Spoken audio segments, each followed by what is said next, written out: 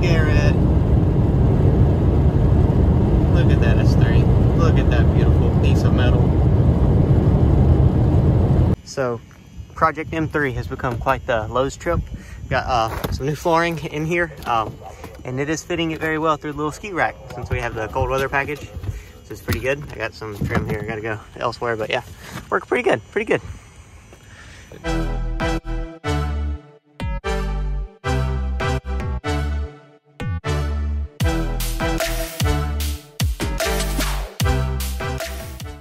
Okay, so if you see here in this little lip, unfortunately this piece like split and broke away from the bumper. We had a slight hairline crack right there. So what I went and did was scuff the backside and the outside of 80 grit, place the uh, piece where it needs to be where the crack is not seen anymore. It's just really back together. Taped it with some um, 3M duct tape and then I put this adhesive on here. I'm gonna let it sit and then we'll come and start working the outside and then reinforce this with another material later on. If you look here, you can see where that crack was. I just went ahead and filled this up from the back side, like I said, squeeze it together. Now the crack's not really there. We can go ahead and put some light putty or some fiberglass, whatever my body guy wants to do on the outside and go ahead and finish this up and then we'll be ready. Okay, so we got James over here doing the body work, getting this done for me. He's got um, some Bondo put down. There was some scratches and stuff on the bottom where like a guy ran up on a curb or something. So he's going ahead and knocking that out. He stripped the whole thing as the clear was coming off. So I'm gonna kind of show you what it looks like and then we'll get the thing primed, put on the car, mount it up, and then we'll go ahead and get it ready for paint. So you see the whole bumper is stripped. We got some uh, Bondo and putty in some places here where there's a bunch of scratches just from like running up on curbs or uh, parking spot stops and stuff like that. But for the most part, the whole thing is stripped. It's ready to go. He'll be priming here in a little bit and it's a little bit of the process.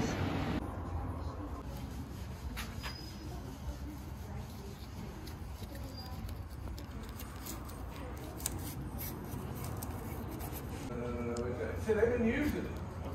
It just looks like it's just beamed in. Wait, who was in that orange truck? Oh, that's the guy it up.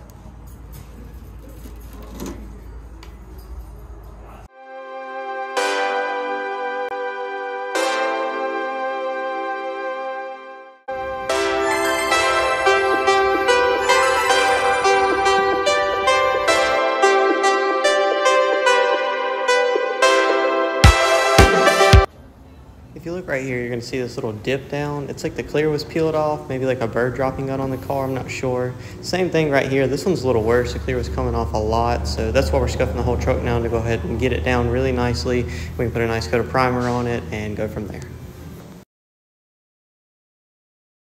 It's cut down all the way as far as we're gonna go. Now we're ready to prime it. We had a little spot here too. Went ahead with this uh, Cubitron uh, 3M stuff, the new stuff they just came out with. It's pretty good paper so far. Um, not too bad. I kind of like it. It definitely doesn't get clogged up as much as the old one or anything. So good stuff. I'd recommend this a lot. And our hood is here, folks, in the big truck.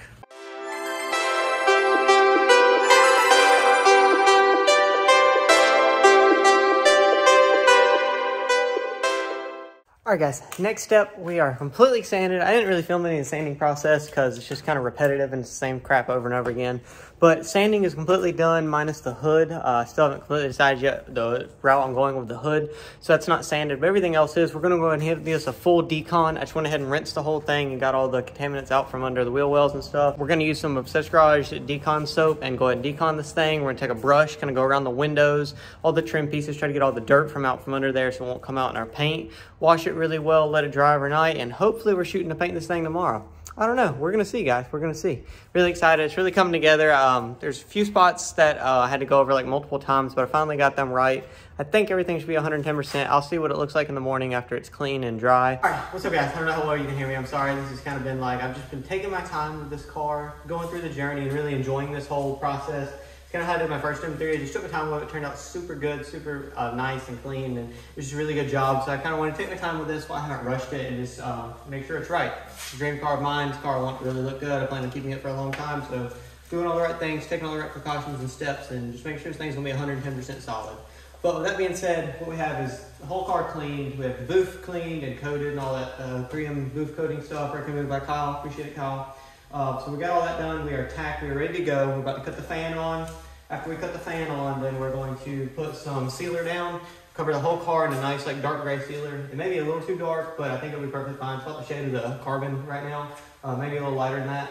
got a little bit of blue in it, kind of almost a shade in a sense. So we'll see. It should be fine. Uh, it's about equivalent to that factory BMW sealer, so that'll be good. But um, yeah, so we're gonna go ahead and seal the whole car. We'll let that sit. While that sits, I might go eat something or something like that. It's about uh, 8 o'clock right now, 7.30 or something. Uh, so I'm getting an earlier start than I normally do, earlier start. That's cool. But yeah, let that just sit properly and then we'll go and start putting our base down. Then we'll clear it. I'm probably just gonna time lapse this whole deal.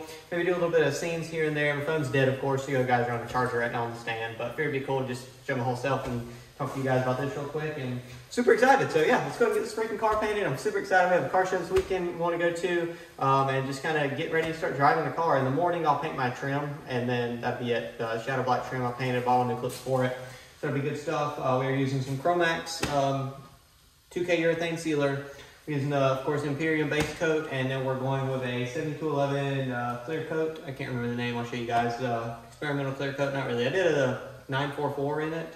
It was pretty good, pretty good. I like the clear, uh, not bad. It was um, relatively inexpensive, relatively available, and has a good solid content, like a TDS on the sheet and stuff. So should be good, should be good. I'm excited. Let's get going, guys.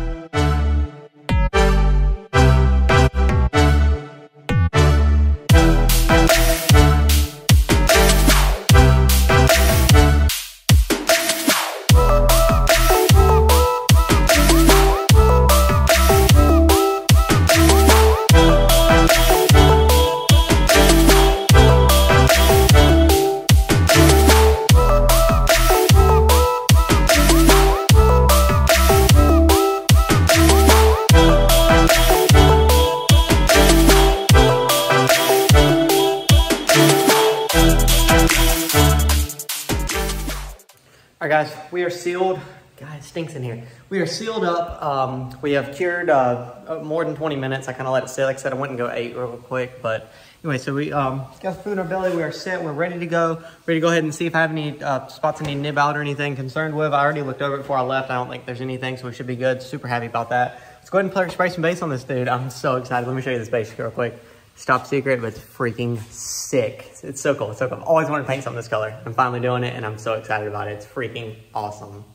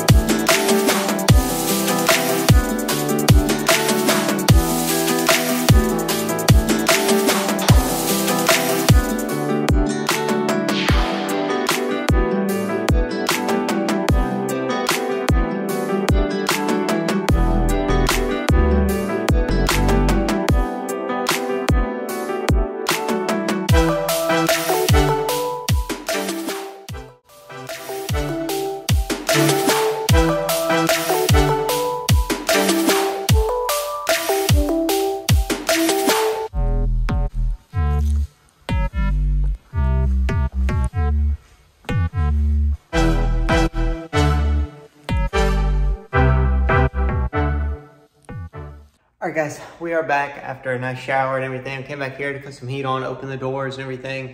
Make sure this thing fully cures overnight. It's getting down to like 40 tonight, 48 or something like that. So it's not too cold, but it's still pretty cold. This thing looks freaking fantastic. It looks super good, super cool. I'm so happy with it. There's not that many imperfections there. We'll have to like nib out or anything. Super happy, super good. We can just go ahead and nib those out later on next week. For cars and coffee. Get this thing coated. It's gonna be so freaking good, dude. I can't wait. We'll have to paint our black trim in the morning. Also forgot to uh, sand the front lip and clear it. I don't know what's on it. I'm assuming that has a clear coat, but it's probably just gel coat.